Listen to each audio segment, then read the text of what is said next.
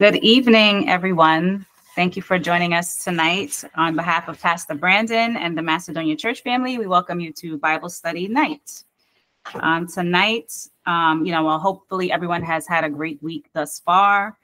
Um, happy Veterans Day to those that um, are veterans. Thank you for your service. Um, we also want to say, um, you know, happy pastor's anniversary to our pastor Brandon. today is the of him being ordained as a pastor of Macedonia Church. So we want to wish him a happy pastoral anniversary as well. Um, thank you for joining us tonight on uh, as we continue our study in the book of Jonah. Um, tonight we're going to be in Jonah chapter three. Um, the last couple of weeks we've been in the book of Jonah um, where we looked at how God had mercy on the prophet Jonah. Um, and we'll get into a bit of a recap later. But um, the last couple of weeks, we've been in the book of Jonah. And tonight we will continue that study of this, uh, you know, I would say interesting and relatable prophet of God. Um, relatable because I think a lot of his characteristics we can all relate with and look at ourselves and see you know how um how you know kind of not things not to do um but tonight uh, chapter three will bring us to the heart of Jonah's mission and highlights powerful themes tonight of repentance, mercy, and the transformative power of God's word. Uh, Jonah 3 will tell us about Jonah's second chance. He'll get a second chance to obey God's call, um, his message to the people of Nineveh, and their surprising response. Tonight, we're going to look at even more God's abundant, abundant mercy. We looked at how he has had mercy on Jonah. And tonight we're going to look at how his mercy uh, is, goes even beyond um, Jonah, um, the Hebrews, and such. Um, and just a reminder the mercy of God is God's compassion and kindness that forgives people and withholds punishment, even when it's deserved. So he's withholding the punishment that we so deserve. So we thank God for his mercy and his grace. Um, and, you know, and how God is just so willing to forgive even those that are farthest from him. We as humans may not be willing to forgive those that are seem farthest from God, but God um, in his you know in his sovereignty and in his loving kindness is willing to forgive those that are farthest from him. So we'll delve into that topic and um, a lot more and just looking at god's mercy um, tonight uh, and and how he had mercy like i said not only on jonah but also on the people of nineveh um, which were a gentile wicked people um, that we talked about the last couple of weeks um, and how God, even in even even those people that seem so unlovable, um, that were so wicked that you know did some evil evil things that like i said in our own minds we wouldn't think that they are lovable and forgivable but god um, wants all to be saved. He does not want one to perish. God is a loving god. He's a kind god. He wants all to be saved. So we're going to look at that tonight. Um, paul said in first timothy that for this is good and acceptable in the sight of god our savior who will have all men to be saved and to come unto the knowledge of the truth. So God desires, as I said, that we all be saved. And tonight we're going to see that play out as Jonah goes to uh, Nineveh. Like I said, the Gentile people, it's not the Hebrews, it's not God's chosen people. It extends even beyond that. Um, and uh, Sister Nikki, did you have a comment? I do, Sister Kawana. Yes. Um, just to, a scripture to support uh, what you are saying. It's Second Peter three and nine, and this was also laid on my heart while I was reading the lesson and answering the questions. And that scripture it says, "The Lord is not slack concerning His promise, as some men count slackness, but is long suffering to us word, not willing that any." Should perish, but that all should come to repentance. So just a scripture just to support what it is you're saying.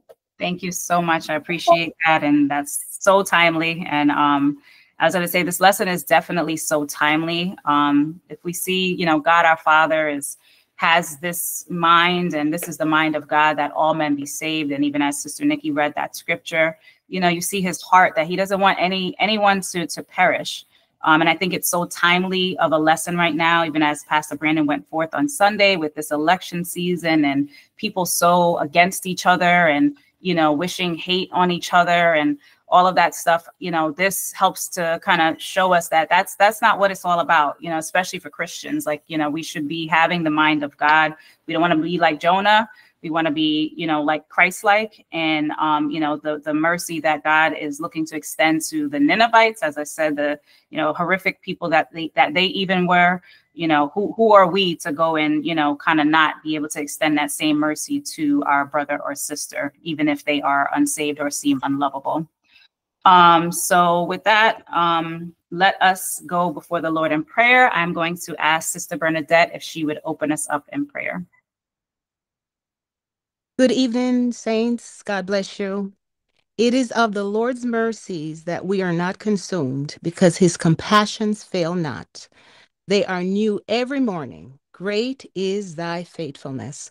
Heavenly Father, we thank you for you are great and greatly to be praised.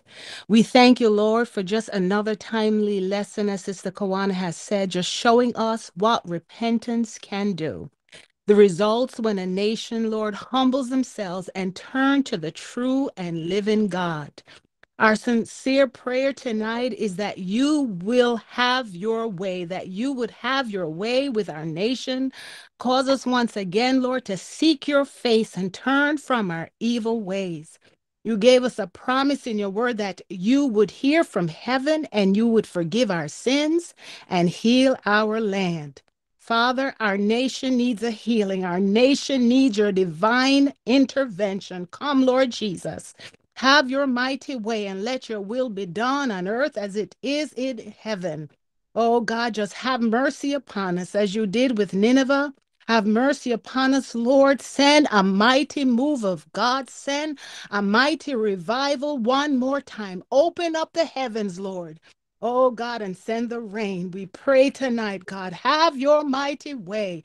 God, let our eyes come open to see what you are doing in the realm of the Spirit. And God, have mercy on America. Tonight, we pray, Lord, that you will bless Sister Kawana. We uh, anoint her with your wisdom, anoint her with your unction, Lord. Give her clarity of mind, give her clarity of thought, and you be glorified tonight in this Bible study. And as Sister Kawana mentioned, Lord, we especially thank you for our Pastor Brandon celebrating two years of pastorate. Lord, have your way with him. We thank you for him, a true man of God, a young man that loves you, Lord, a young man that said yes to your will. Have your way with him, God. We know the best is yet to come. Hallelujah. Oh, we're just getting started, Lord. The best is yet to come. We thank you for his next year of increase, favor, and fruitfulness. Bless him tonight. Bless his family. Bless his children. And God bless Macedonia Church and all those who are online tonight to give us one mind, give us one thought, give us one, uh, uh, uh just have your way in Bible study tonight and you be glorified. All these things we ask in the name of Jesus, we pray. Amen.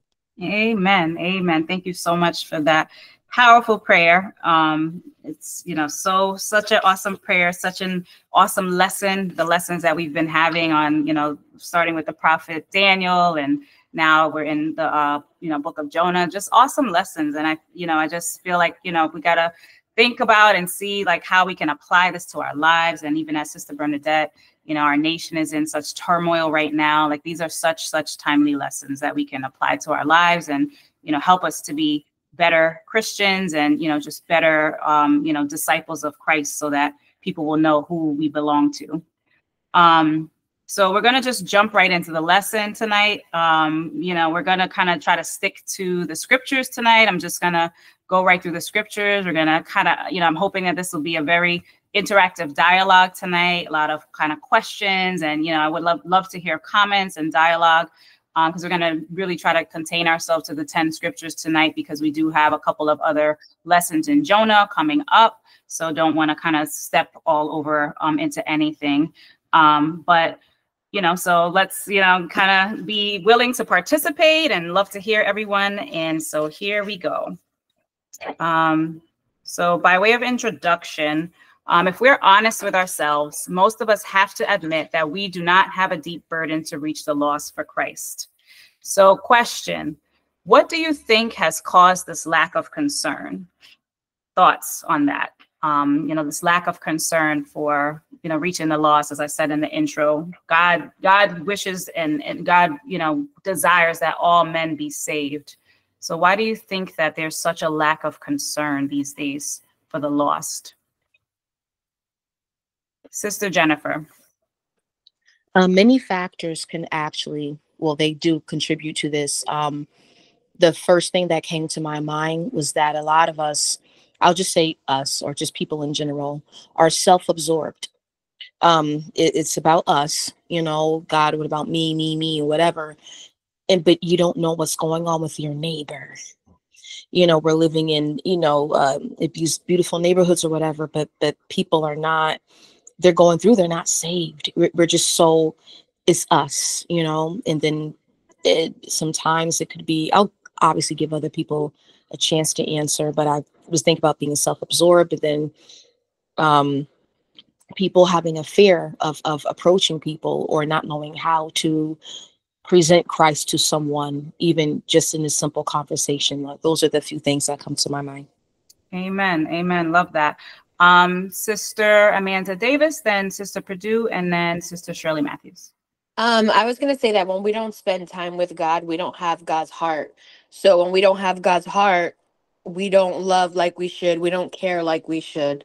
So just lack of time with Him. Yeah, amen. Amen. Um, Sister Purdue and then Sister Shirley Matthews.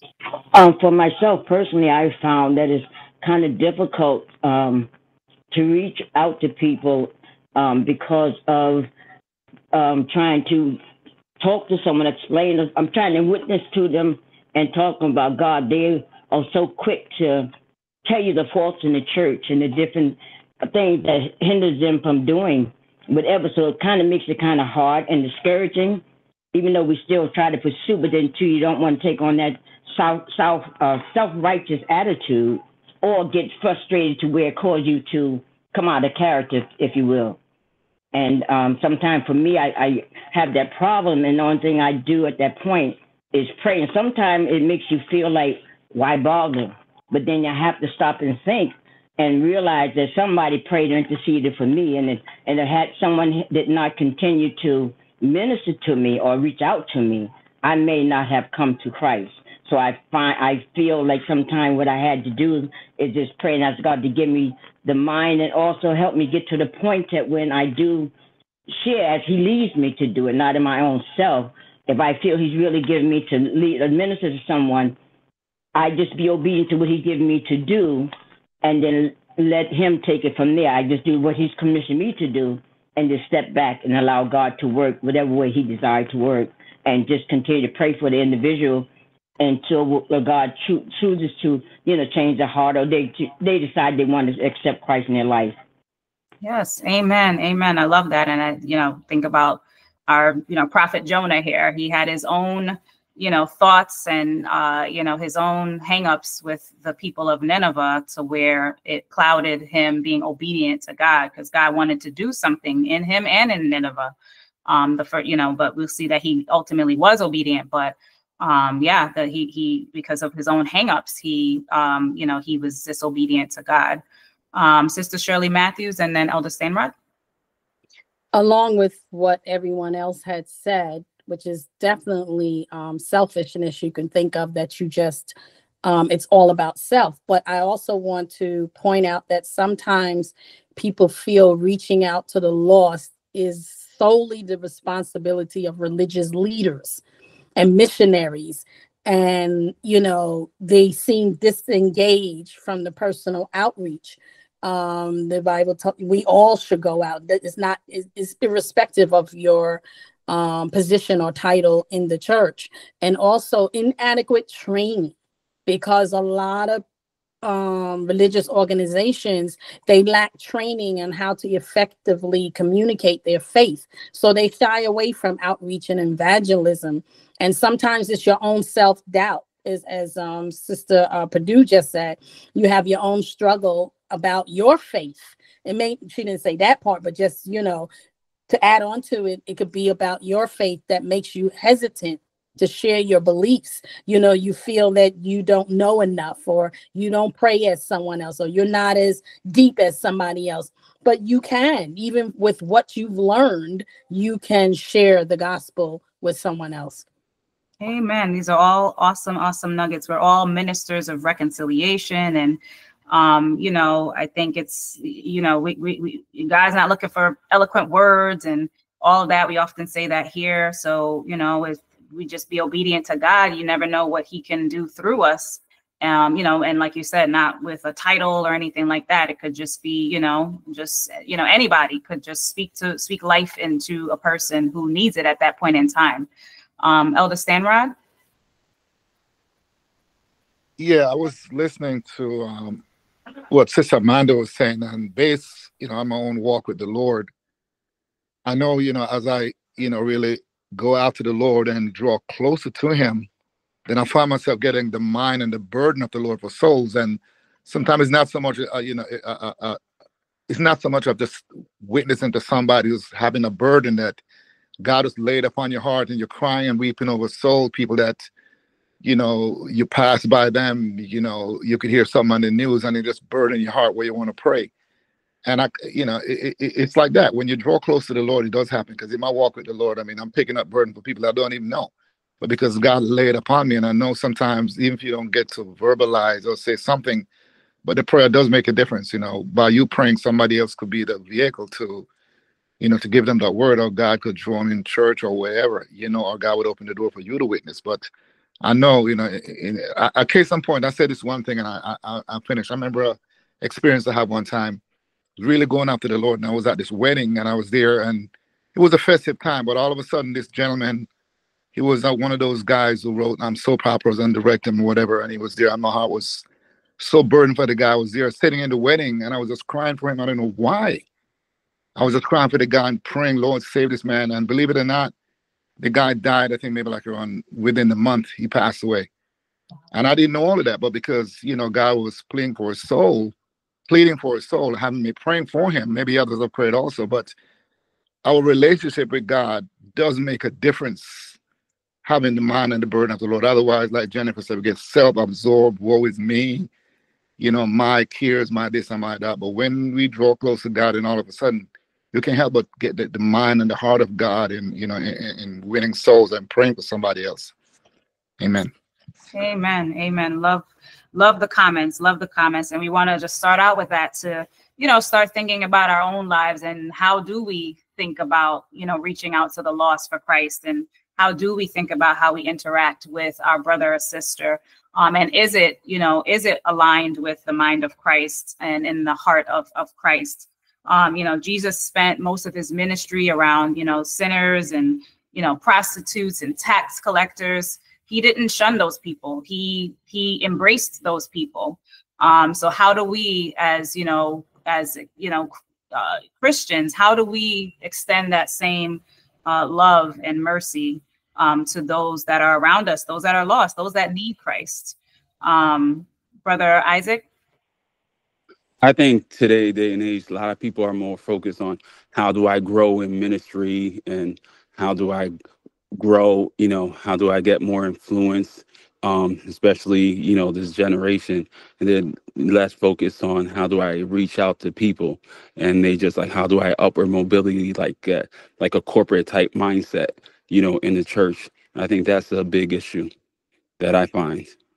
Yeah, yeah, absolutely. I completely agree, which is so sad. And I think aligns with what Sister Purdue said. And, you know, as soon as you talk to somebody, they're quick to say, you know, how bad the church is and how hypocritical and how, you know, they don't see what they can gain from from the church. So it, it is an issue for sure. Um, okay, any other comments before we move on? Okay. So, uh, oh, Sister Bernadette the other thing as we are seeing in this lesson um that how jonah had certain prejudices i'm see if i'm saying the word right and that's sometimes even us as Christians, we're prejudiced to witness to just a certain group of people, and you know, it's human nature. If they look good or smell good, then we're more, you know, likely to say something, you know. And so God, as Elder Leroy was saying, that God just wants us to have a burden for the soul you know, no matter how they look or how they smell or, you know, or they're refined or not refined. But that's the burden I'm leaving with this, these lessons that we've been learning that we do have certain prejudices, you know, and some people even, you know, they'll just, I'm a, you know, a, a Black American, maybe I'll just witness to Black Americans, you know, I, I won't go to my Caucasian, you know, people. So God really wants to break up the prejudices that's in our heart. And as you started the lesson to say, we can relate to Jonah. Mm-hmm. Definitely, we can relate to Jonah. Yes, yes, amen. Um, Brother Isaac, did you? Oh, okay, okay. Um, amen. Love all the comments and totally agree. Um, so let's move along. Um, for the benefit of those who are just joining tonight or on our series of Jonah, just going to do a quick recap to get us up to Jonah 3. Um, as I said earlier, a couple of weeks ago, we started Unit 3 of the Union Gospel Press Sunday School book, and we started our study in the book of Jonah.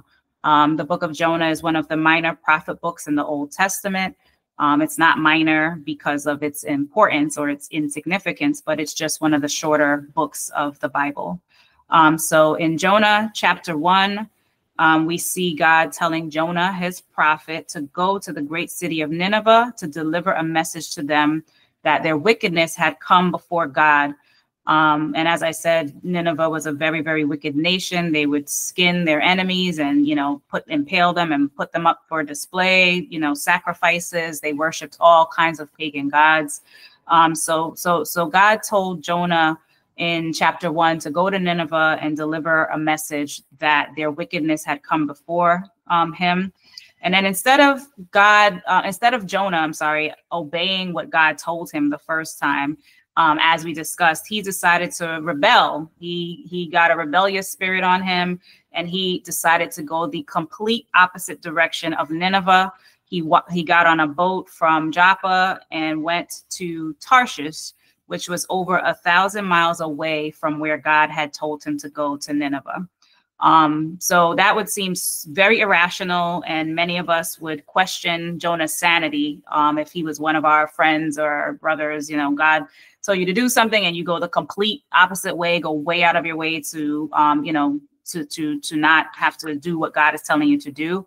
Um, but our lessons the last couple of weeks brought out that Jonah's mind was such in a state of rebellion um, and disobedience because he let his own personal feelings, as we've said, um, about the people of Nineveh overshadow the task that God had for him to do. Um, it caused him to be misaligned with God's will, um, which we said earlier is that all men be saved. So his own rebellion, his own personal feelings got in a way of him being aligned with God. And um, you know, as I said, we don't we don't want to end up there. We don't want to end up there. We want to be um, as Sister Amanda said, we want to be um, aligned with God. We want to know the heart of God. We want to be able to obey God the first time. Um, you know, and side note, Jonah did have a reason to not, you know, like the Ninevites, right? As I said, they were wicked people. They were known to do very evil things. So, um, not saying that he didn't necessarily have a reason to feel the way that he felt. And, you know, if we're all honest, as we've said, um, we at times feel this way about certain people, our own selves, where it's hard for us to, you know, minister to maybe a boss that we don't really like, or you know, a, a um, you know, a, a, friend that you know is not really a friend, or a family member that you know has hurt us, and God is saying go minister to them. So we've been here, like you know, like Sister Bernadette said, we can totally relate to Jonah. Um, so he had a reason, definitely. Um, he didn't want to go anywhere near Nineveh. Um, it was a hard task for him. Um, but, you know, just food for thought, Jonah rebelled and went on a ship in the complete opposite direction. Um, but, you know, God is omnipresent. Um, so, you know, Jonah really couldn't get far. He, and, you know, as we know in, in Jonah chapter two, as, um, or, you know, as uh, God was dealing with Jonah when he went on the ship, God sent a storm, a very, very um, tempestuous storm. Um, and Jonah was on the ship with some pagan mariners, and the ship started to rock so hard that the mariners thought it would break. These mariners were so concerned for their life that they ultimately threw Jonah overboard um, at, at Jonah's request, which we talked about last week, so that the storm could cease. As soon as they threw Jonah overboard, the storm was calmed. But that wasn't the end of it. They threw Jonah overboard, but he didn't drown unto death. You know, um, as we talked about last week, God sent a great fish. He sent a great fish to swallow Jonah up from the water. And this is where Jonah sat for three days and nights in the belly of the whale. It was isolated, dark, underwater, but he didn't die in the belly of the fish. Um, but through God's mercy, the mercy of God, he allowed the fish to swallow Jonah up so that he may come to his senses and turn back to God, which we learned last week. He had a short but powerful prayer while in the fish's belly that ultimately showed his now alignment with God and willingness to go and obey what the Lord had told him to do in the first place. So Jonah was in this belly of the, the, the, whale for three days, and he had time to think and he had time to turn back to God and had a very powerful prayer, and his heart was now aligned with God. Um, so he was ready to, um, you know, obey God at this point. and once God was satisfied with that, he told the fish to vomit Jonah out onto dry land. And here is where our lesson picks up tonight in Jonah 3. Um, Jonah, so Jonah just got vomited out by this, you know, great fish onto dry land. And God comes to him a second time to tell him to deliver the message to Nineveh. So this is where we will jump right into our lesson text. Um, we're going to pick up in Jonah 3, verses 1 through 2. Sister Alma, can you please uh, jump on and read Jonah chapter 3, verses 1 through 2? And the word of the Lord came unto Jonah the second time, saying, Arise, go into Nineveh, that great city, and preach unto it the preaching that I bid thee. So we see here the word of the Lord came to Jonah the second time. And um, as I said before, I just want to say it's it's best to to follow the word of God the first time. As we see, Jonah didn't follow it the first time, and look at how much time he wasted. Look at how much money he wasted. He paid to go, uh, you know, over a thousand miles away from uh, where God had initially wanted him to go. Um, you know, not obeying God the first time will cost you. However, God's grace and mercy, you know, allowed Jonah to be able to have a second chance. Um, and so, but I just want to say that, you know, that if we don't obey him that first time, it can cost us a lot. And, you know, God, God is the, you know, the holder of mercy, right? So we don't, we don't want to, to tempt God or we don't want to, to chance it, right? So um, we want to obey him the first time um, to avoid all of those um, extra costs. Um, so his grace and mercy um, allowed, like I said, Jonah to be uh, vomited out by the whale. He gave him a second chance. Um, he said that, uh, you know, arise and, and, go to Nineveh. Once again, he said that. Um, and I think uh, we serve a God of second chances. That is the, um, you know, kind of point of this these two verses of scripture. Um, and I, we had a little excerpt in our book that summed it up nicely. Um, could I get a volunteer to maybe read this slide, please? Um, Sister Shirley Williams. One of the most encouraging things we learn about God in His Word is how willingly He gives us a second chance to those who have been disobedient. This is one characteristic that set Him apart from the pagan gods of the nation that surrounded Israel those gods were often viewed as continuously angry and vindictive. The list of people in the Bible to whom God gave second chances is lengthy. It begins with Adam and Eve, Cain, Abraham, Isaac, Jacob, and Joseph's brothers. Soon we read about Moses, Miriam, and Aaron. Later, God gave second chances to Elijah, David, and Manasseh. In the New Testament, God continues to work with Peter, John Mark, Paul, and others. Each life is a study of God's mercy and grace. We fit right in. God has forgiven all who believe in Christ and offers them second chances. God's grace towards Jonah should produce deep gratitude in every heart. Amen. Amen. Thank you. I thought that was a beautiful um, summary in our book um, of, you know, like it, like in the scripture we just read, God gave Jonah a second chance. Um, Jonah was in complete rebellion, um, but he gave him a second chance to obey um, because that's the type of God that we serve. God is not looking for perfection. He's just looking for a willing vessel. Um, and as I said, we don't want to walk around like Jonah where we reject the assignment God has for us to do um, to where, you know, we would have to make God, you know, send a great fish and a storm for us. Um, you know, but we just want to be able to be willing vessels, put aside our own thoughts, ideas, and feelings, um, and and you know, just let God's will be done in our lives. Um, so after reading those verses of scripture, um, what was different about God's second command to Jonah compared to his first one? Um, Deacon Sean. Um, in the in the first one, he didn't give any type of sp- specifics of what he wanted to tell the people, and then the second one, he gave him um, specifics and what he wanted him to say in detail.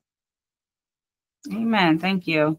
Um, yeah, exactly. So, um, as as as uh, Deacon Sean said, he God was kind of like strategic in how he um, you know gave detail or gave instruction to Jonah.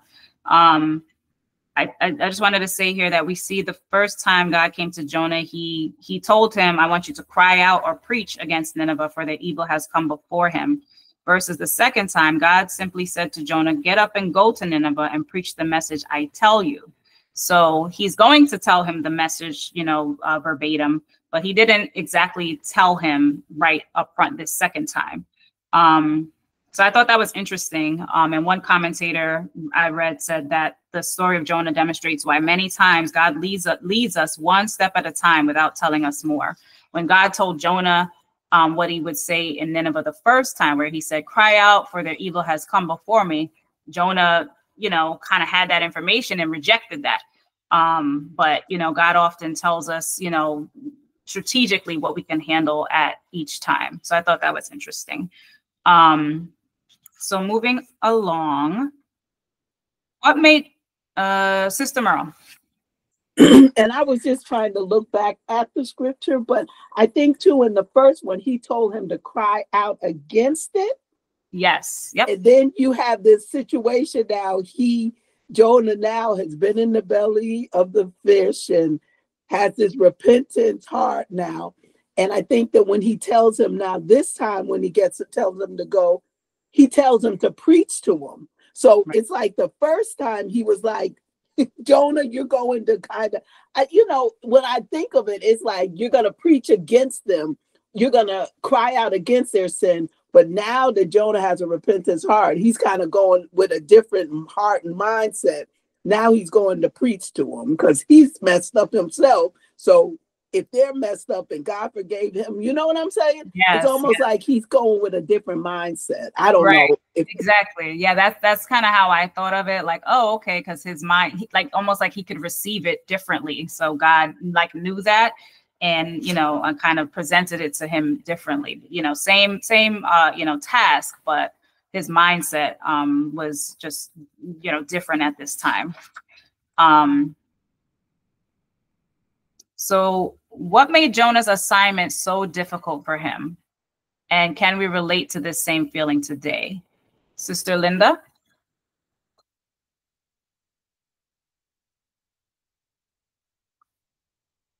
Oh, Sister Linda, I think you put your camera on and instead of your mic. um, it said that the city walls were tall and wide, and um, that they also had a reputation for cruelty. So that kind of made it difficult because he primarily avoided it because he didn't want God to spare Nineveh. Yeah, amen. Um, absolutely. Any anyone else? What made it what made his assignment to go to Nineveh? Like just think about, you know, things that God asks us to do and we feel like it's difficult. Like what makes these things difficult to do? Can we relate to this? Um, Sister, or sorry, Elder Stanrod, Sister Shirley Matthews, and then Sister um, McFarlane. Yeah, one of the thing also, Jonah just believed that these people just deserved they wiped out the earth. Um, one of the commentators was saying the Assyrians were so barbaric that even people who were being, you know, held captive from wars and whatever, they would rather commit suicide than go through some of the torture. You know, they would impale people by putting, you know, I guess stakes, you know, through their bodies. They would cut off heads, and there was so much evil that Jonah just rather these people just be gone. And and partly, you know, it was done to Israel also. So he just want him be gone, and you know, it, it- yeah, that was my point. Yes, amen. Um, who did I call next? Sister, I think I said Sister Shirley, and then Sister McFarland, and then Mother Jean Pierre. Yes, um, to tag on to Elder Stein, Steinrod, Steinrod, yes. Um, our reluctance to forgive, and you know, sometimes we resent people. Um, you know, toward he resented toward the people of Nineveh due to their reputation and being an enemy of Israel. So, you know, a lot of times we'll question God, well, why is, you know, you see how bad that person is, and why would you extend mercy to such a wicked person, and in this case, a wicked nation? And that's a struggle that we face when asked to forgive and extend grace and mercy to those that we believe, that we think don't deserve it. But as you said earlier, you know, um, Jesus sat with the sinners. He sat with, you know, um, the tax collectors, the prostitutes, everyone. He came for the lost. He didn't come for those that think they know it all. And it's a personal bias. Um, you know, sometimes we grapple with, you know, what we believe and we don't know how to show compassion and don't have true understanding of God's word and how it can change and transform someone. Yep. Amen. Amen. Um, yeah, it's it's not I thought of uh, you know, it's not easy to minister. you know, it's not it's not a walk in a park, it's not a cakewalk. So I feel like, you know, Jonah had to leave his home, you know, he was in Joppa and go 500 miles to Nineveh and you know, deal with people that are, you know, possibly going to reject him or even skin him alive. So, um, and God's asking him to get up and minister to these people. So I can only imagine how, you know, ministers and pastors feel when they're dealing with some difficult people. But um, yeah, it's, not- I it's not, say one more thing.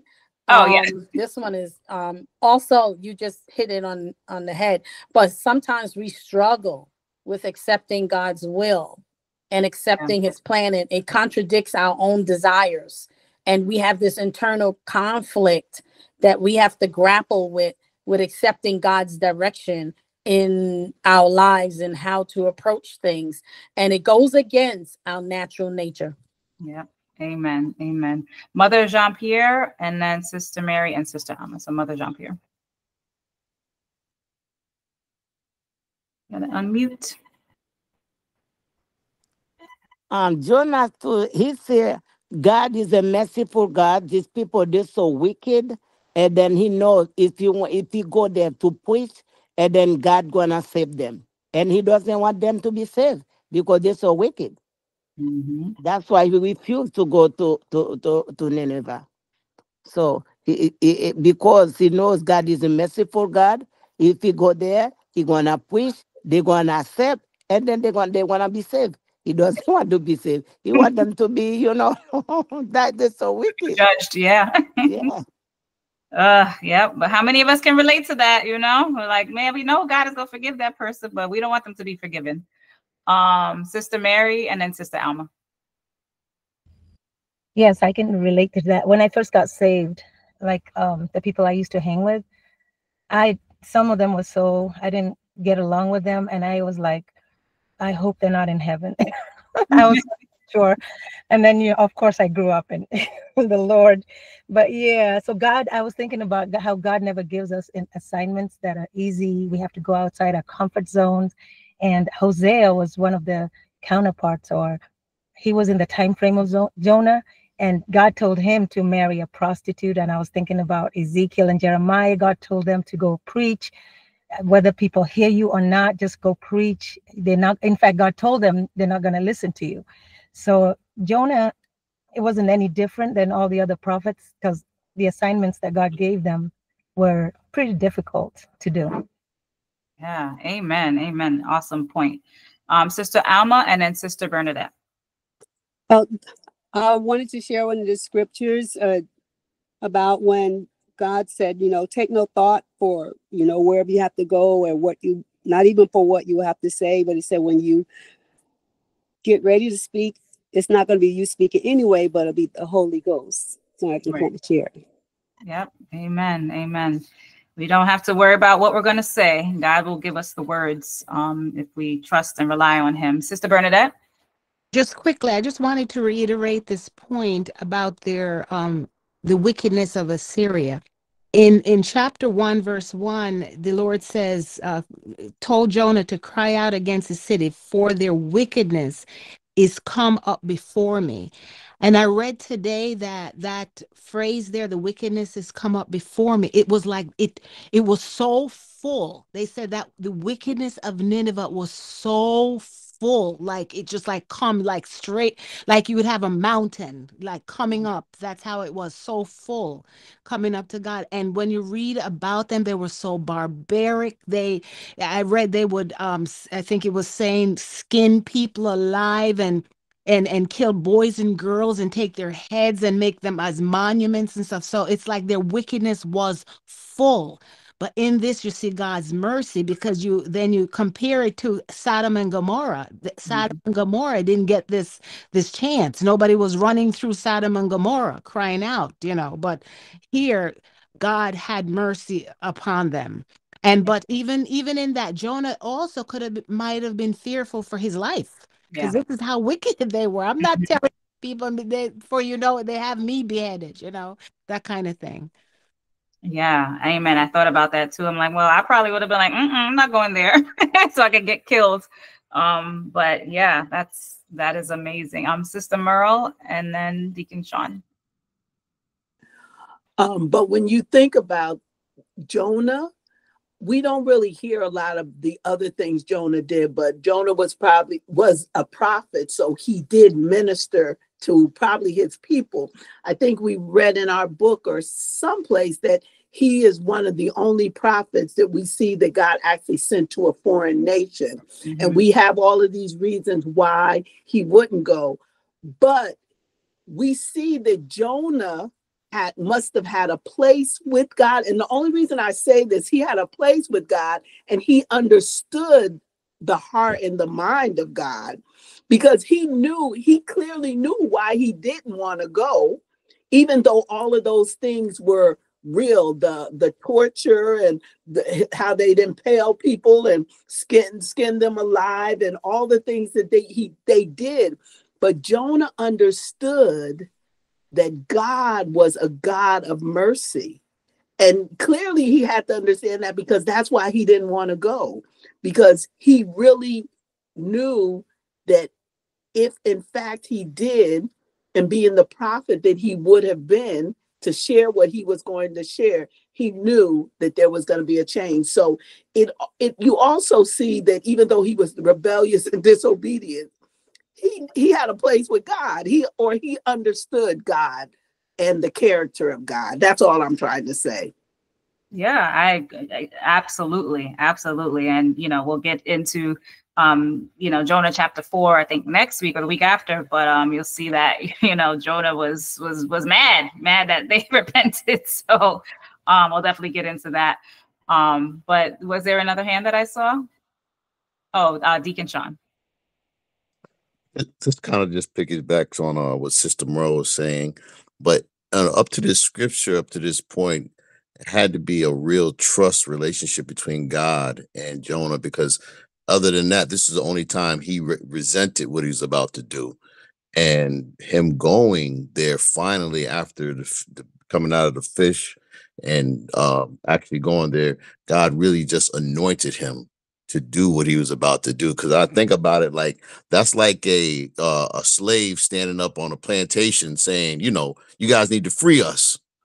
And he know he just seen a couple of them got their behind whooped and foot cut off and all this crazy stuff. But now he God and told him to go tell these people repent. You know what I'm saying? And not knowing that the consequences are going to come behind that are severe. It's not if they're severe, you don't seen it happen, you know it happens. So um I just think that this particular time, that's why I think God gave an opportunity for him to change his mind because up until now we had not you know it doesn't show any other re- time of rebellion that jonah had had with god. So as a prophet he had we can s- safely assume he always did what god asked him to do.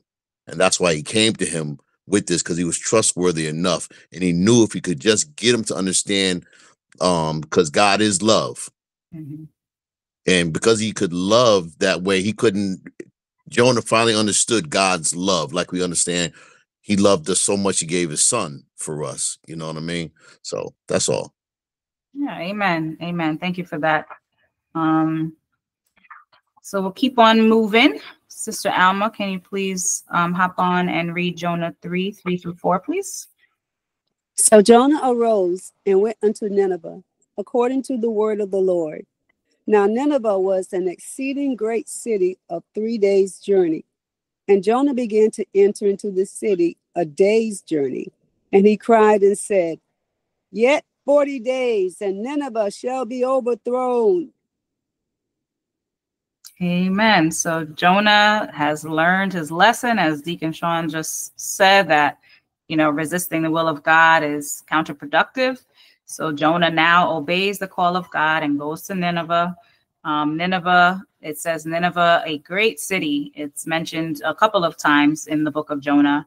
Um, their reputation for wickedness and them being known as this uh, great city. It's not saying that they're a great city because they had great character or anything like that. It's more so talking about their size. They had, um, I think somebody said it earlier, they had 100 feet high walls and their walls were three chariots wide. Um, and they had just a large population. I think it was like 120,000 um, population at the time, whereas other cities might have had like 30,000. So it was a great city in regard of its, you know, stature, its size, the amount of people, the amount of resources. Not certainly not great from a character perspective or anything like that. Um, so, you know, again, as we said before, these things could have made Jonah intimidated at first to go there.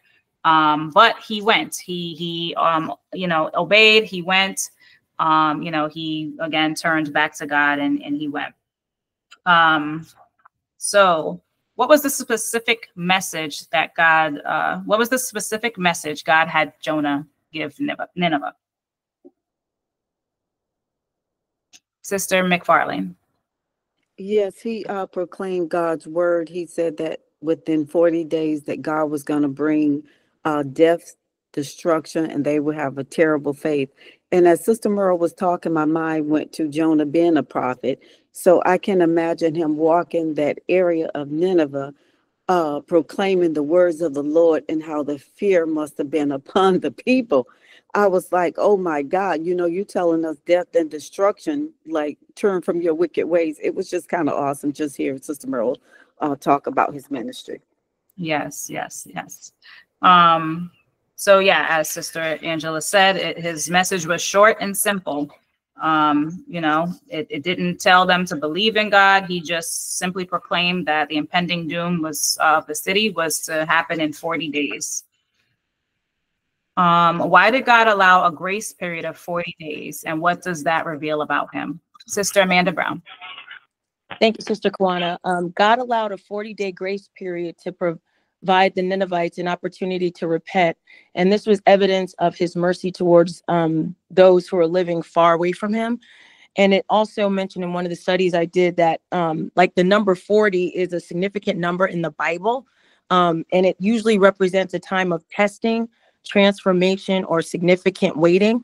And we could see that with um, uh, the rain that fell 40 days and 40 nights with, jo- uh, with Noah during the flood. Then you had the 40 years that the um, Israelites had to wander in the wilderness. And then our Lord Jesus, he had 40 days of fasting right after he was baptized um, by John the Baptist and filled with the Holy Ghost before his ministry went into full effect. So this was a significant number in like the spiritual realm. And it was amazing. And I just want to add to what Sister McFarland and Sister Merle said. The Ninevites understood what um, Jonah had said when he said destruction because they were masters of destruction. So if they had any idea of what they had done to others coming upon them, they would of course not want that treatment and God gave them grace to turn during this 40-day window. Amen. Amen. And that's a that's a nice thought, uh, you know, a nice uh, tidbit on the 40 um, days because I didn't even think about that. But yeah, that's that's a pretty good uh, point to bring out. Um, yeah, exactly. So um, uh, I'll get you in one second, Sister Bernadette. Um, so yeah, they, you know, God could have God could have immediately gotten uh, destroyed these people, um, just like Sister Bernadette earlier said about Sodom and Gomorrah. He could have not sent the message. He could have just wiped them out. You know, Jonah could have come with a different message. Um, so yeah, the 40 days he allowed them that time, that grace period to repent. Um, Sister Bernadette. Sorry, I hit the wrong thing. I promise it's the last thing I will say. No, it's okay. but what stirred me up was Jonah's message. He cried and says, Yet 40 days and Nineveh shall be overthrown. So we don't hear of him preaching any anything else you know, to me, I'm thinking that's all his message.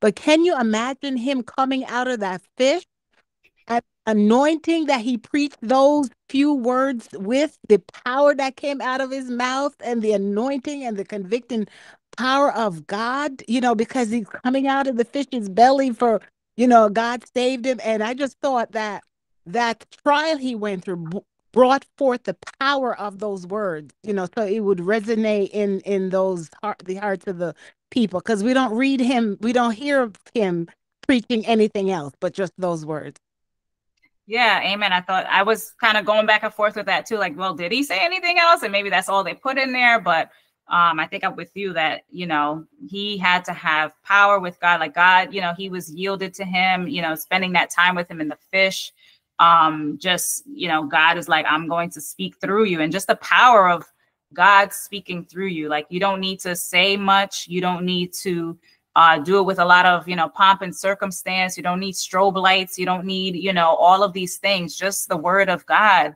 um, can can cut to the hearts of people which is what happens in nineveh. It can it can cut deep. It can meet you right where you are.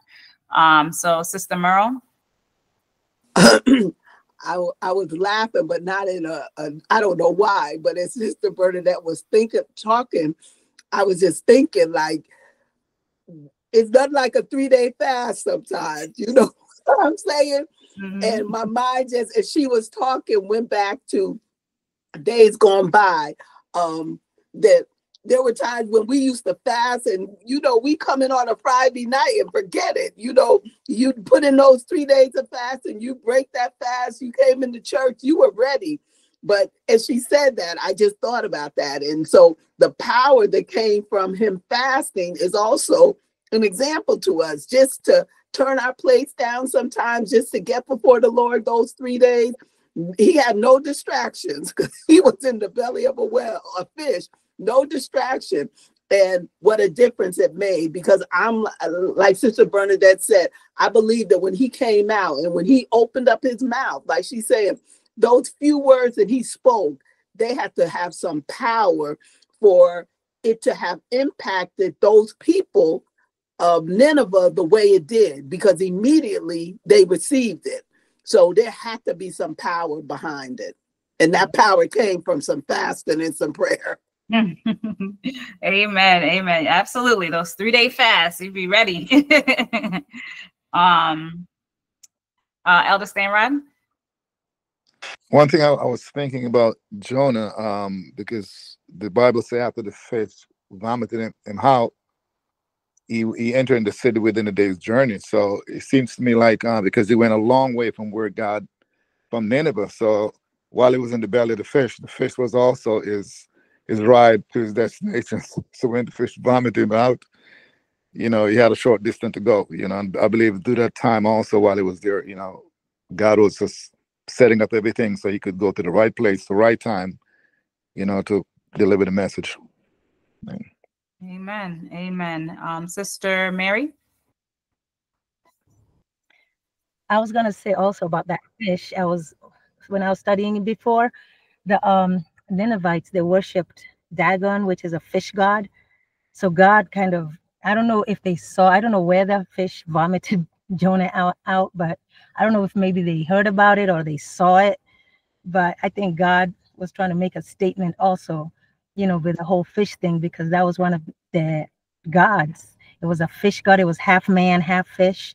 So I, I think maybe some Ninevites had seen that also, and that affected them. And they were like, oh my goodness, what is this supernatural thing that's going on? So I think God was getting their attention all kinds of ways.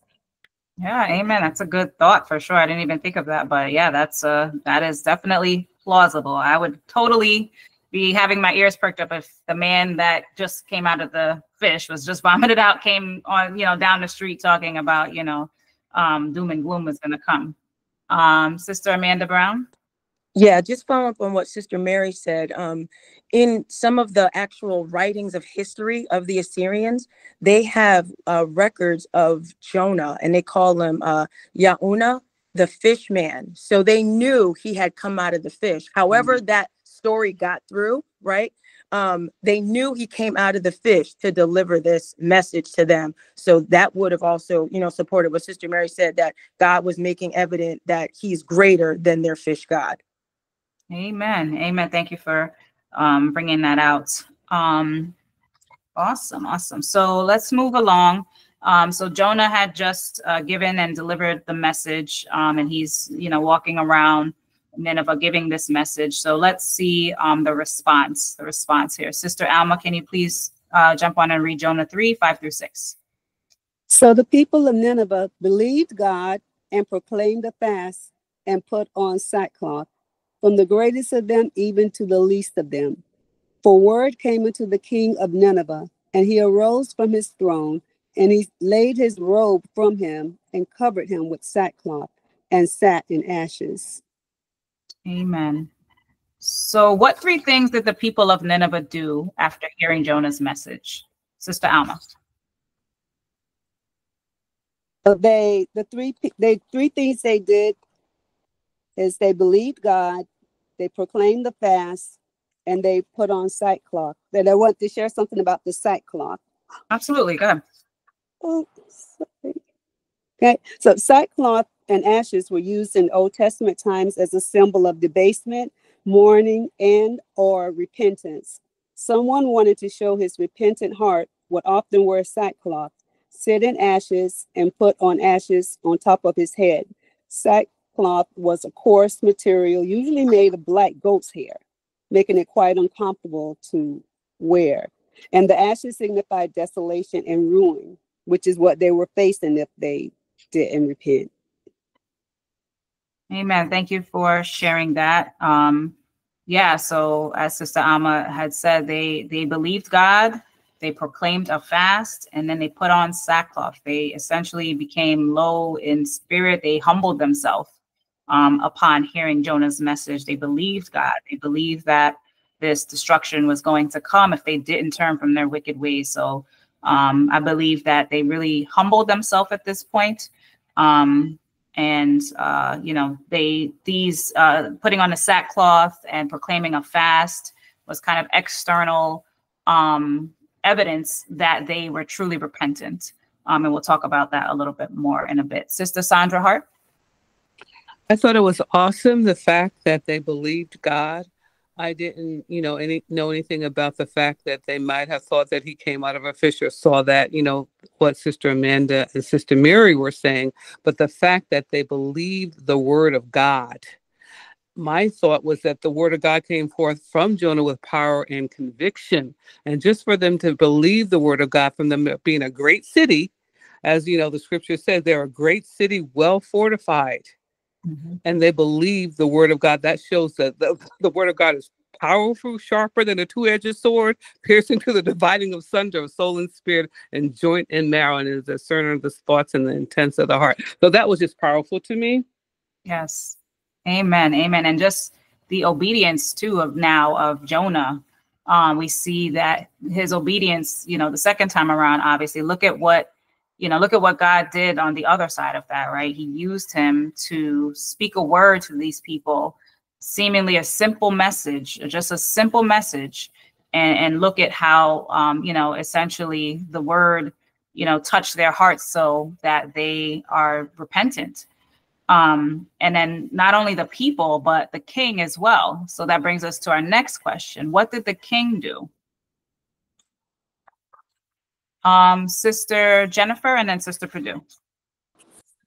So the king, um, he put aside his royal robe, covered himself um, with sackcloth and satin ashes, um, humbling himself before before God. And what I love what the king did was that you saw his heart posture. He was the king of Nineveh, but um, he was able to take off all of the royalty and just ignore it for that moment and just humble himself before the real King of Kings and the Lord of Lords. And because his heart turned, as well as the people, um, God changed his mind. Amen. Amen. I thought that was beautiful too, um, what the king did, because he took it even a step further. Um, you know, he he took off his robe, which you know back then a robe was a big deal. That was like you know a, a picture of your status. Uh, you know, uh, it had jewels on it. it. You know, the robes were a big deal back then. The trains were long. So the fact that this king would take it off and put on goat's hair and sit in ashes, um, you know, he was truly um, repentant. And I think as a leader, um, you know, with great influence, like a lot of our natural leaders today do, um, I think that this, you know, this is this is key, right? Like if imagine if you know our leaders of today in the in the government and all of that just you know humbled themselves humbled themselves and proclaimed a flat a fast and you know proclaimed that everyone needs to you know pray the, a national day of prayer or you know days of prayer. Imagine if our leaders in america would do this how you know the people would follow the people would follow all of this you know um, democrat republican and you know all of this hatred all of this uh, debauchery, imagine if our leaders kind of took this posture that this king of Nineveh did, how it would, you know, spread throughout the land. Um, so I thought that was beautiful too, of how the king responded as well. Um, so Jonah's message to Nineveh was straightforward and brief, as we said. Why do you think such a simple message was so effective? And how can we apply the lesson of a simple message when sharing our faith with others today? Any thoughts on that? His message was simple. Yeah. Um, Sister Merle. Well, I'm not sure what you're looking for, but I think that one thing we we've concluded that even though his message was simple, the message had to have some power behind it. So it's like there there had to be something about Jonah from the time that he, you know, finally was in that fish and spent that time with God. And whatever went on in that fish between God and Noah, I mean, sorry, God and Jonah gave Jonah a change of heart and allowed him to go and do what God did, told him to do with obedience. But there must have been some power behind it. And um, and I think it says apply the lesson, uh, sharing our faith. I think that today it's kind of like we have to take every opportunity in a sense to try to share our faith. I'm not the greatest witnesser, but is what I try to do when I'm in certain places. If an opportunity comes up for me just to share something, I just share something. And sometimes it might just be a simple invite. You know, I know that there's so much we can do. I can say and share, but I may share something or say something and say, well, you know, start talking to them about church and then start talking about church and what happened in my life and how it changed and just give a simple advice. I think that today that's what we have to do. We have to start just reaching out to people and and sharing our faith in whatever way God allows us to do it, whether that's in a restaurant or at the grocery store. And believe it or not, something that I don't know why God uses it for me right now as a witness and to sometimes I'm in line and somebody ahead of me may be short of money. I'll say to the people, just just put it on my tab or I'll just pay it. You know what I'm saying? But all of those things are witnesses. So I don't know if I went off. I was trying to read the question while I was talking at the same time. But I think one thing about that I was just really trying to say, he had to say what he said with power. And the thing is, when we talk to people, we have to be able to talk to people in a sense, you know, with an anointing. And we just want God to always anoint us. In order for that to happen, we have to do what somebody said at the beginning, stay in the presence of God so that God can give us his heart and his mind. That when we talk to people, because the word said it's the anointing that breaks the yoke. So if you just having a conversation with somebody, you need to sometimes pray, say, Lord, just anoint me just to talk, because it's going to be that anointing that will in fact break the yoke. Amen. Amen. That was that was perfect, Sister Merle. um, Sister Vicky, and then Elder Purdue, and then Sister Shirley Williams. I think um, we're all pretty much saying the same point, but I feel like it's just to prove like God Himself is the one that's behind it all.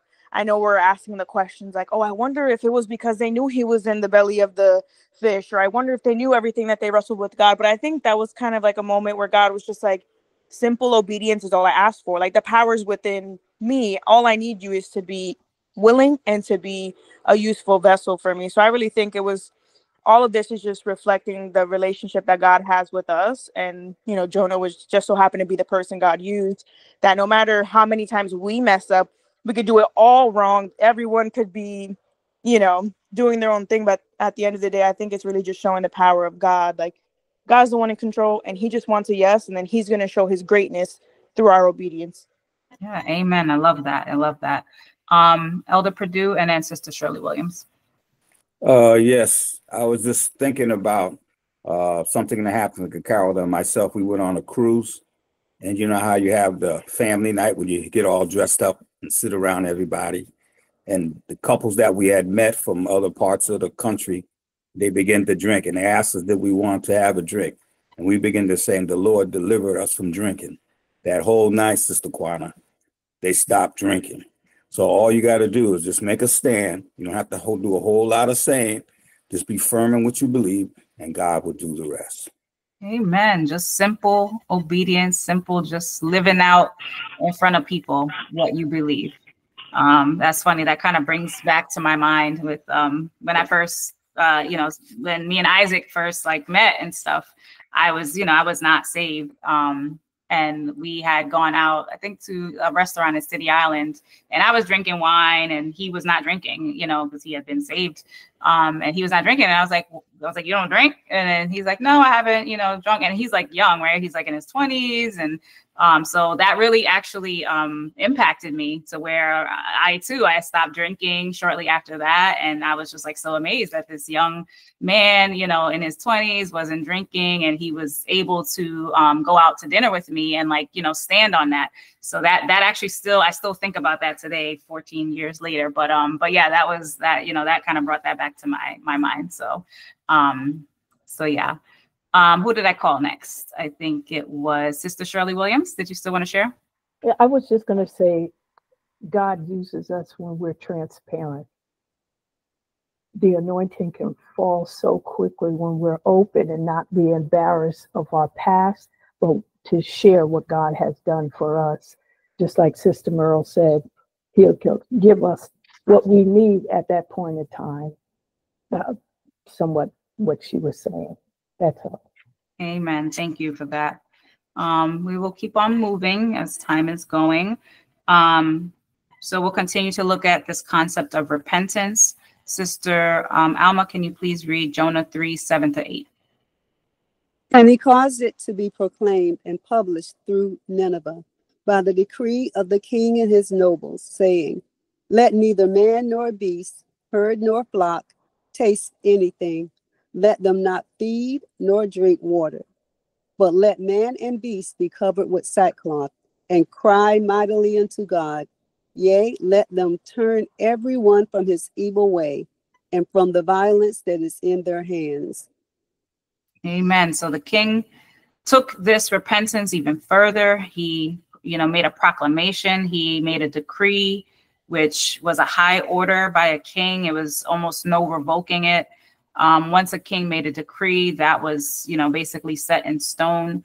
Um, so he was very serious about, um, you know, his nation repenting and turning away from their sin um, to the point where he ordered the animals to um, follow this proclamation of repentance.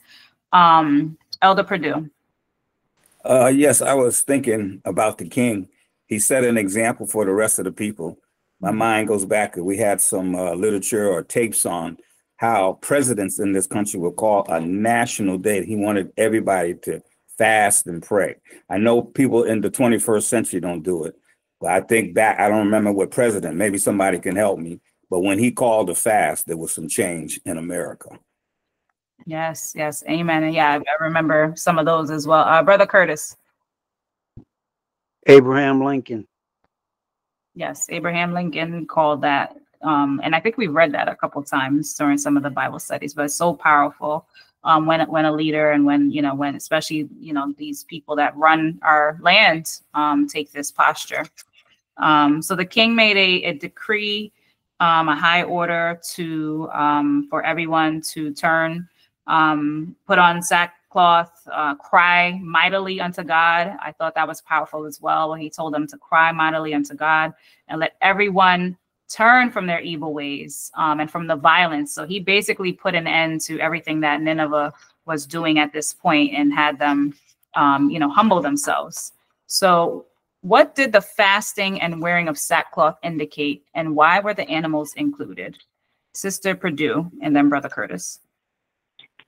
Uh, the fasting and the uh, putting on sackcloth would it, it would um, referred to like it indicated like a genuine um, repentance, and also um, would have they include the animals as a sign of like uh, like a totality repentance of Nineveh, and it, the lesson brings out that it was it referenced or compared to um, I think Exodus twenty and ten when God concluded included animals in the command of the Sabbath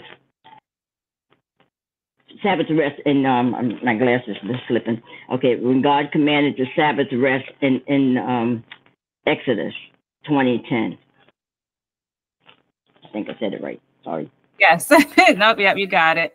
Um, yeah. So, uh, yeah, the, the, the, the, this king was really serious about, um, you know, having the people, not even just the people, but all the animals and everything repent.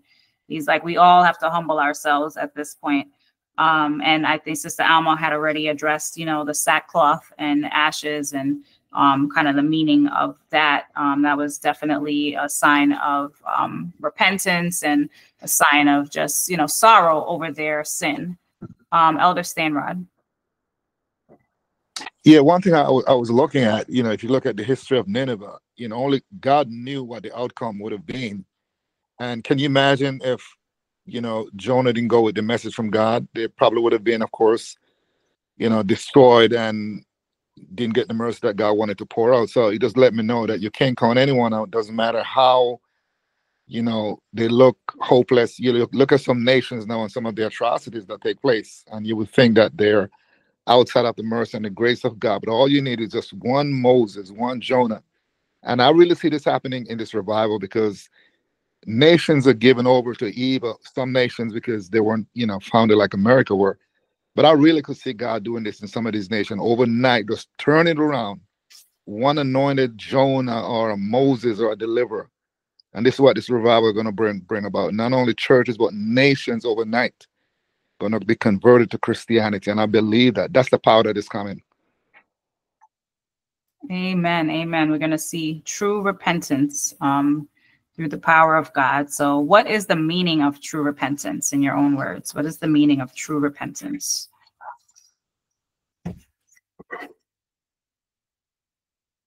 Um, Sister Nikki and then Sister Vicky. True repentance, I think, is definitely what this king had felt, but it's Isaiah 1 16 and 20. As I was studying, it's not only feeling sorrow, for the sin committed, but it's breaking off um, from that sin. And repentance must be doing something like breaking away from that sin, turning completely away from that sin. So it's not standing standing idle. And to add what um, sis, um Elder Stanrod had said, I too, as I was studying, believe that and and sister bernadette mentioned it and, and and sister merle had mentioned it but these these three days with him it was tailor made and, and sister mary and, and sister amanda had mentioned it. These three days that that jonah had was it was a tailor made preparation for ministry. But nineveh because of the preparation like us the consecration revival and in the hearts through the spirit of god will cause repentance and revival. I truly believe that and it is our responsibility to pray for all that are in authority our leaders and our nation sister Kawana. i'm trying not to talk as much i'm trying to hold it but i can't i can't i'm telling you i can't it is okay. Thank you so much for sharing that. You can share as much as you want. Sister Vicky and then Sister Purdue. I think um, the meaning of true repentance really comes from not just like your words, but your actions.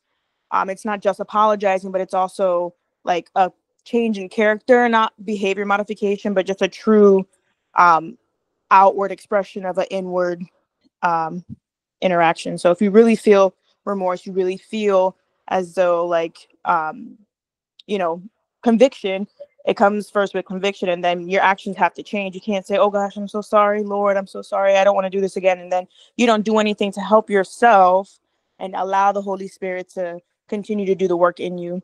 So it's um it's both. Yep, absolutely. Um, Sister Purdue. And yes, what I was thinking too as I listened to Sister Merle um, she talked about the fasting back in the day. We used to do the three days and how we would come in in the presence of God would just rest. It's like I just got like a stirring because I remember some of the times when we came into the presence of God and how he the the, the anointing just rested and it pretty much commanded the, the praises and you could it's almost like um like a fabric being woven. It's like you could actually see the God moving and touching the different hearts of different hearts and of different ones um, as he went through the the church, not everybody, but different ones he, he ministered to. And you could just feel it. And then what happened is like sometimes you got like a spiritual jealousy, not in a negative manner, but it's like you wanted to, if you weren't where you need to be at that point, the next time they call, or sometimes you would go on your own and ask God to lead you to go on the consecration to get to the place that God wanted you to be. And it just, I just had a flashback just remembering some of those days, and I just feel the presence of God. I say, God, do it again, because I believe God is getting ready to visit us, and He's going to literally blow our mind. I'm still waiting for God to come in Macedonia, as He promised us years ago. He's coming. He's going to walk in Macedonia. He's going to fill the house with His glory, and everybody is going to go down, saint and sinner alike and God is just going to have his way. I am excited. This lesson is, is it just stirred me up. Just the presence of God that's getting ready to overtake us, and not just Macedonia, but we are forerunners. But we're going to get it first. Not being selfish, but God, bring it on. I'm just believing God for it because of like an excitement. I just want to say one thing, and I'm going to set up again after this one. I thank God for each one of you teachers who's been teaching these Bible study lessons. I can't explain to you what's happening, but I'll tell you something. Hallelujah. I thank God for you. I thank God for the researching, for the time you're taking to put these things together. And uh, even as we participate, I thank God for each and every one of you teachers that God has anointed to execute these Bible study lessons. I'm telling you, it's doing something in my sanctified soul. And the only thing I can tell you is I am so encouraged I'm so encouraged. And I just want to tell you openly, thank you. Each one of you, I thank you for allowing God to use you to be the effective teachers that you are. That's it. Love you all. Love you, Sister Purdue. Thank you so much. Thank you so very much. And I know all the on behalf of all the teachers, I, I'm sure, you know, thank you, thank you, thank you. Um, so moving, we're gonna move ahead because we're gonna run out of time, but um, everyone pretty much stated, but just to sum it up, true repentance. Um, no one can pursue two paths in life at the same time. Thus, the main word in the Old Testament for repentance simply means to turn. In repentance, a person turns from sin and turns to God. The main word in the New Testament means a change of thinking. Repentance involves adopting a new perspective on reality, including a new view of sin, of God, and of ourselves. The New Testament also talks about an emotional response of remorse or regret, which goes along with repentance. But the feeling itself is not true repentance. Such a feeling can arise for many reasons. True repentance may start with remorse, but also includes a decision to forsake sin.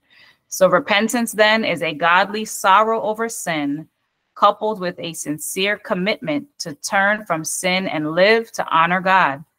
It is, it is motivated not just by the consequences of sin, but by a realization that our sin offends God, whether anyone catches us or not. I thought that was a powerful summary of what true repentance is.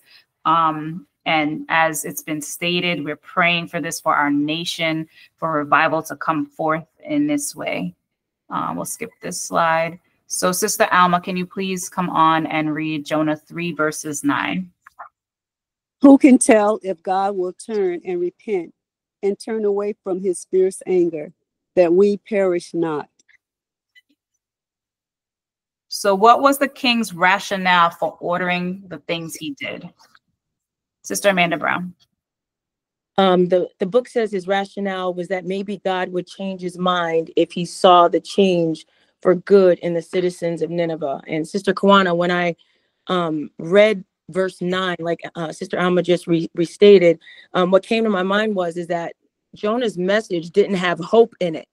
Jonah's message was a message of, of doom you know 40 days and it's over right? It wasn't if you turn you might get something else or maybe god will leave it was just straight down the line like he had done with hezekiah when he said you know what? Set your house in order you're gonna die right?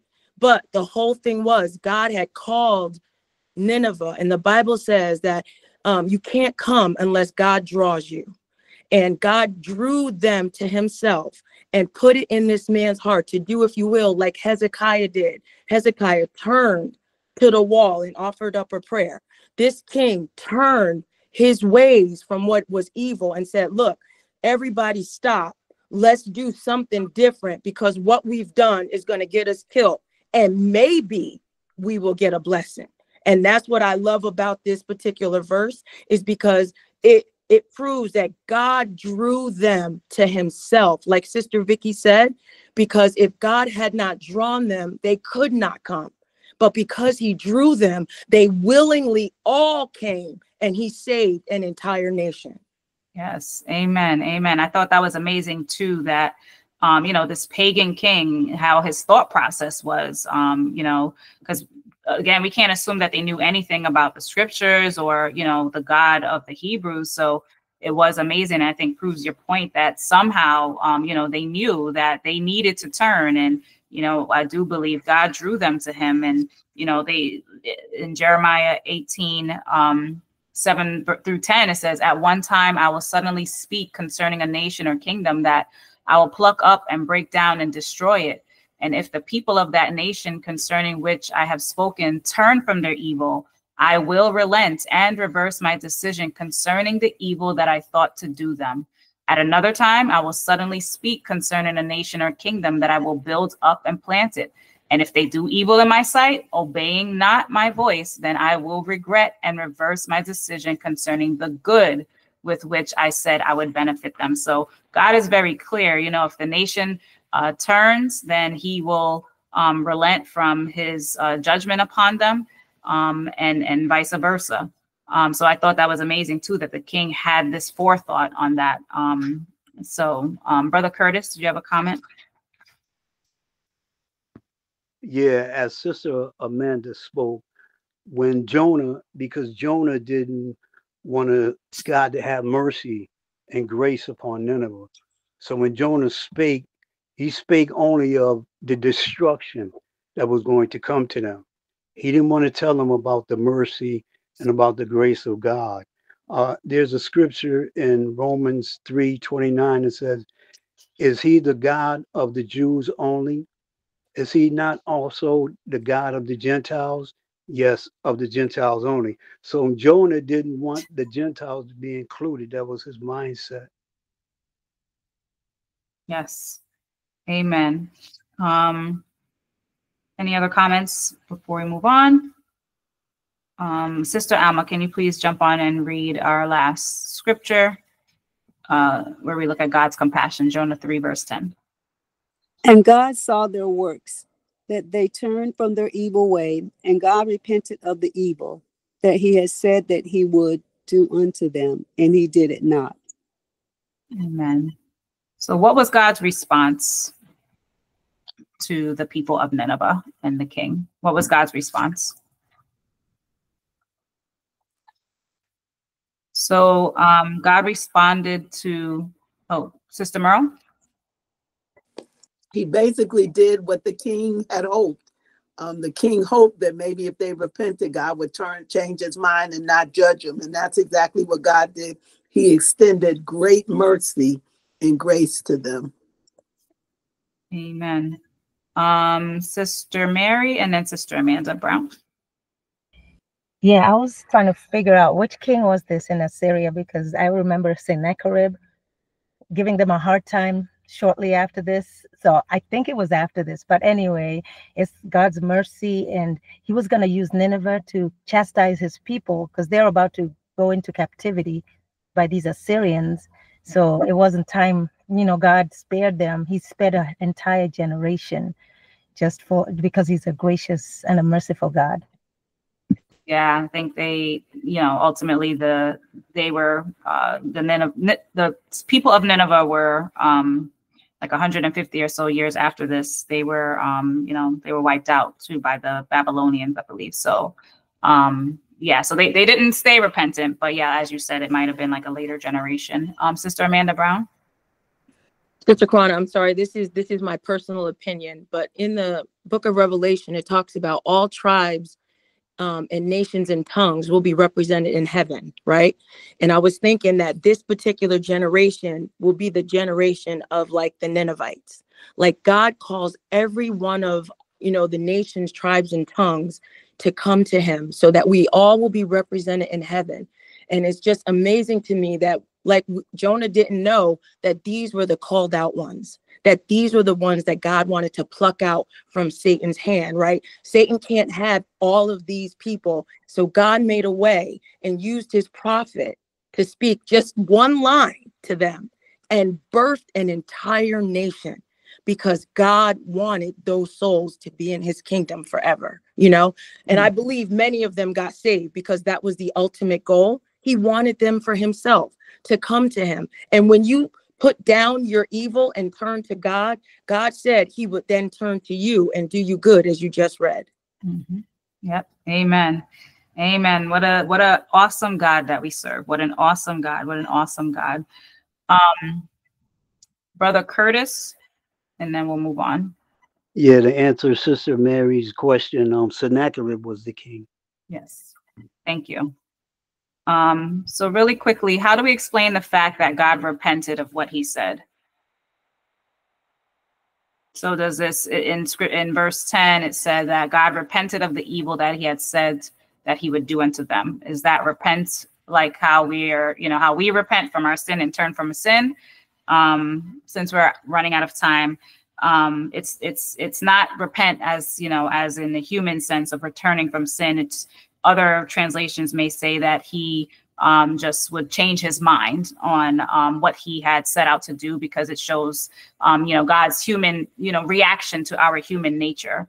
Um, so if we turn from our sin, although you know God, uh, you know, had said that He was going to send judgment to Nineveh, but because they turned, He, uh, you know, repented or turned or changed His mind on what He was going to um, to do to them. So that word repent there um, does not mean like he turned, you know, he sinned and he turned from his sin. Um, so that in conclusion, Jonah showed a lack of concern for the lost. God, in contrast, showed great concern and compassion for them. Most of us are probably more like Jonah, as we said earlier. We may have a have had a greater love for the lost at one time, but our concern tends to weaken. Renewing our love for the lost starts with renewing our love for at least one lost person. Is there an unsaved person in your life who you could reach out to? Let us all take time to identify one person at least for whom we might have a greater spiritual concern and to think of ways to express it. Um, I put our practical points here because God is gracious. Our past does not disqualify us from serving Him now. Obey God. Do not compromise His message under pressure and trust His power to protect you from all enemies. Speak the gospel plainly, as we said, trusting God to move hearts. God's word is for everyone. Our compassionate God desires that every sinner repent and turn to Him. Share the gospel freely knowing that God responds in love to those who repent. And with that, um, we'll uh, end the lesson there. Father, we thank you, Lord, for this lesson on tonight. Thank you for every single uh, comment and nugget that was shared. Lord, we pray that you are pleased with our lesson on tonight. And Father, as it's been prayed earlier, we just ask that you have your way in each and every one of us. Lord, help us to have more love for one another, more love for those that are that seem unlovable. Father, give us your mind, your heart, your spirit, oh God. Lord, let us walk in in in the the path that you have for us. Help us to be obedient in the assignments that you have for each and every one of us. Lord, we thank you for this lesson on tonight. Thank you for each and every person on this line. And Lord, you have your way in the in us all week long. Have your way in our leaders, Pastor Brandon, Elder Stevens. You bless them, oh God. Bless their households. Father, I thank you, oh God, for doing it. In the name of Jesus, we pray. Amen. Thank you, and God bless you, and have a great rest of your week.